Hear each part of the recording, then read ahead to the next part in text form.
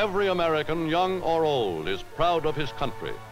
For America stands for democracy, for independence, and for the idea that all men are born free and equal. But in too many U.S. communities today, things are happening of which no American can be proud.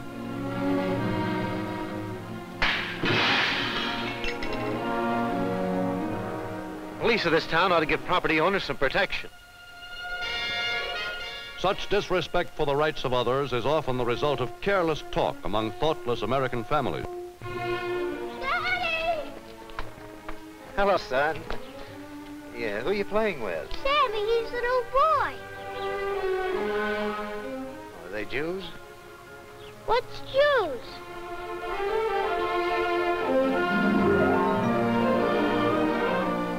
Who is this Sammy that Johnny's been playing with? Is that new family across the street Jewish? Oh, yes, and he's been over there all afternoon. Aren't there any other kids on this block?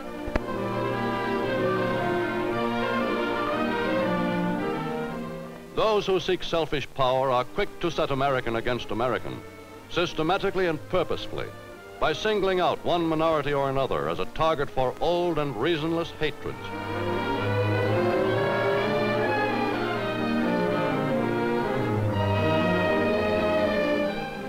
In the name of Americanism, but in the spirit of Nazism, rabble-rousers spread doctrines closely resembling those inspired by Adolf Hitler. With sometimes appalling consequences, they encourage neighbors to hate and quarrel with each other. But for every American publicly spreading the doctrines of intolerance, there are today many others carrying on an organized fight for understanding and decency because they know that liberty lies in the hearts of men and women, that when it dies there, no constitution, no law, no court can save it. our fellow Americans against hate attacks and answer anyone who speaks along the lines of racial or religious hate. Do you also pledge? To combat those who preach hatred, men of all faiths and racial background are forming such groups as the National Conference of Christians and Jews, headed by Dr. Everett Clinchy. We're talking about brotherhood. What do we mean by brotherhood? Brotherhood is giving to others the same rights and dignities that we want to keep for ourselves. When this war is over, there will arise some pretty tough economic, social, and political problems. But no problem will be too tough if Protestants, Catholics, and Jews remain together when this war is over.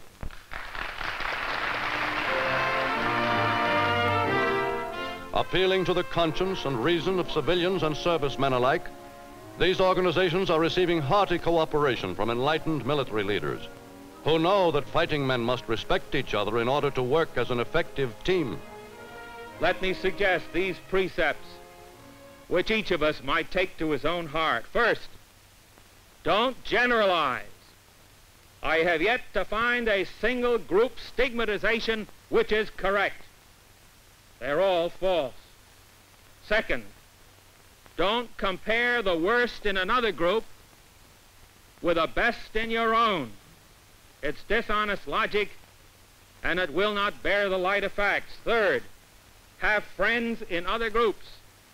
Fourth, judge a man for what he is and what he does, and not for his antecedents. Throughout the land, religious leaders have joined the fight, aware that if any one faith or sect is in danger, no other is safe. One of the last official acts of the late Cardinal O'Connell of Boston was to issue through the press a solemn appeal to a nation which honors democracy. Uh, gentlemen, this is the statement drawn up jointly by His Eminence Cardinal O'Connell, Archbishop of Boston, and by Bishop Oxnam as representative of the Massachusetts Council of Protestant Churches. Like God's great mercy, Christian love is boundless. It extends to all our fellow men. It does not ask their nationality, race, or social position.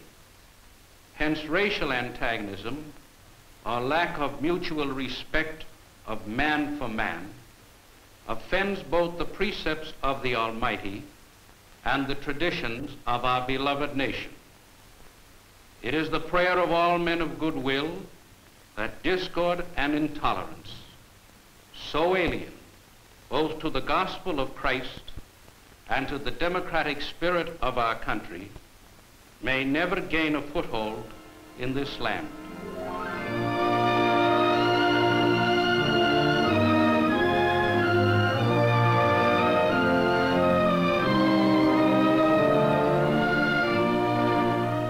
From the time when the first Negro slaves were brought into the South, the status of the Negro has been primarily a Southern problem, one that Southerners feel they must solve in their own way without interference from the North.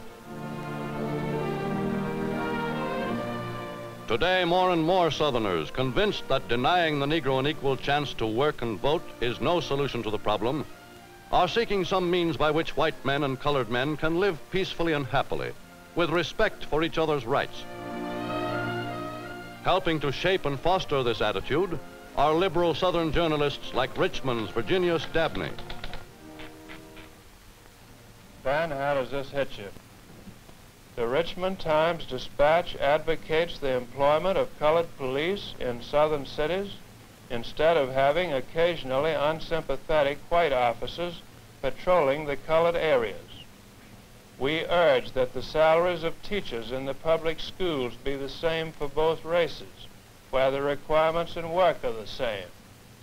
We propose that colored doctors be permitted to serve colored hospitals, and we suggest the abolition of racial segregation in the streetcars and buses of Virginia. In Atlanta, Georgia, the Southern Regional Council applying to this problem some of the best minds of both races, is seeking a solution acceptable to white and colored alike. Aware that likes and dislikes which have existed for generations cannot easily be brushed aside, they are seeking to make it clear that the traditional Southern way of life has nothing to lose and much to gain by granting the colored man, in fact, what the Constitution long ago granted him in theory, equal consideration, equal opportunity, and equal justice. They are convinced that giving the Negro the right to as good a job and as good a living as he is capable of earning will ease social and economic tensions which have long been a handicap to those of both races.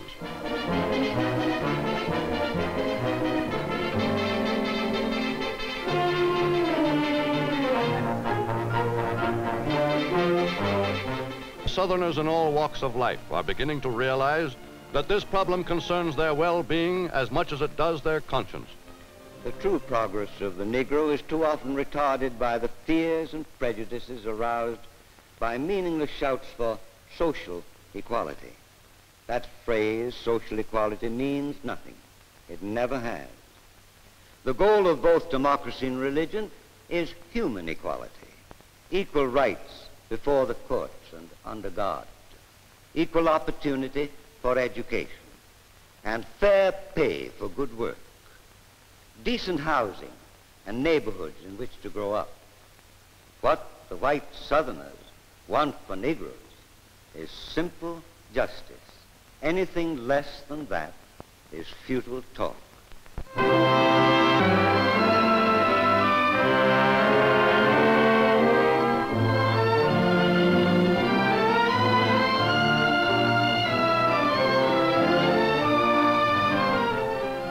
Of many states working on the problem of prejudice is Massachusetts, where Leverett Saltonstall, when he was governor, directed the Commissioner of Education, Julius E. Warren, to form a committee to study and alleviate race tensions.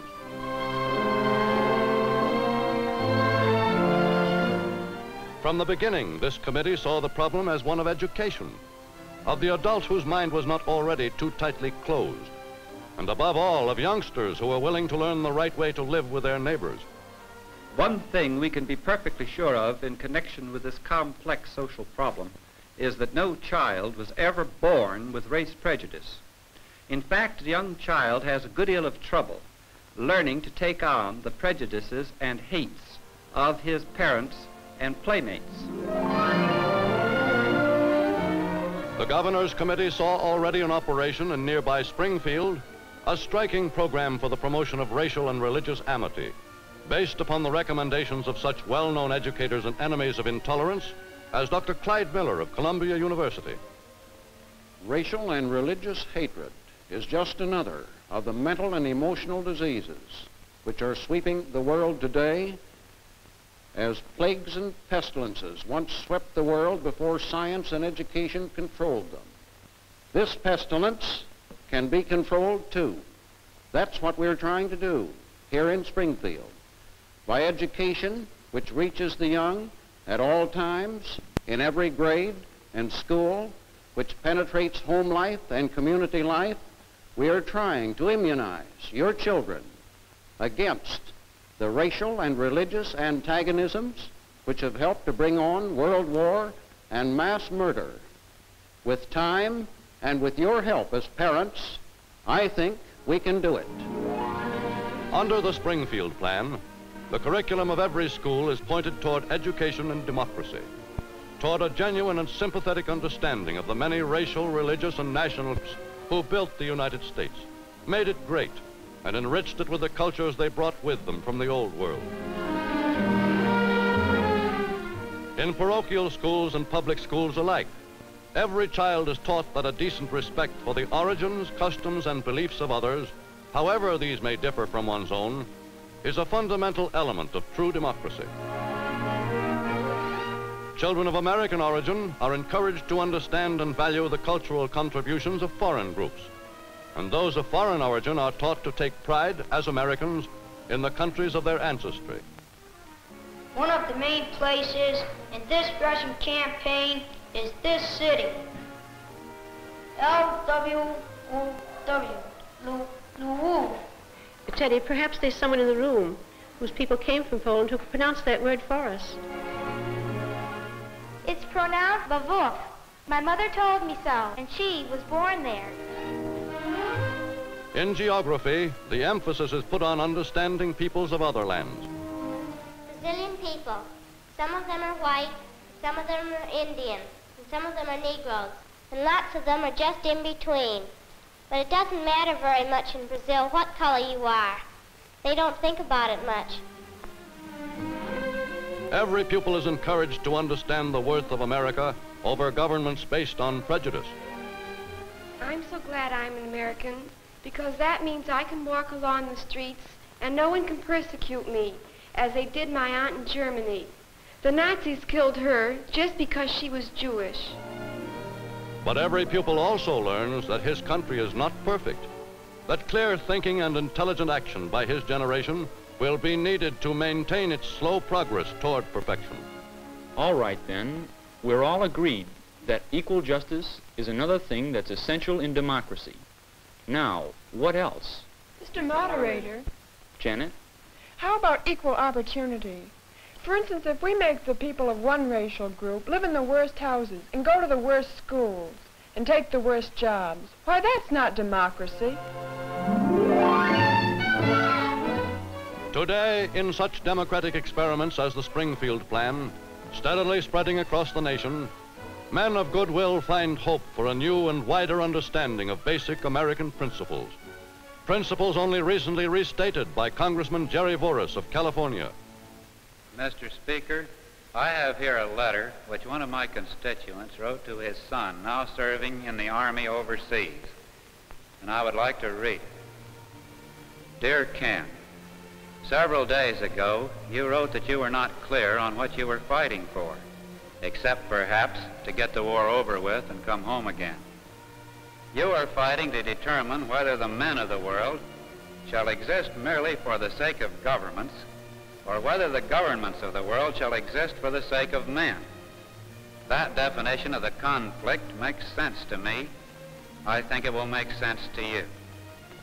Underneath is the basic concept of democracy, namely that all men are born equal, equal in the right to share in the fruits and opportunities of the earth. And by all men, we mean all men. We have made a lot of progress since 1776, even since 1918. And we are fighting for the right to keep on making progress. We, as a democratic people, hold that the highest values on earth are the rights of mankind. And it is because of this that we fight. Love from Dad.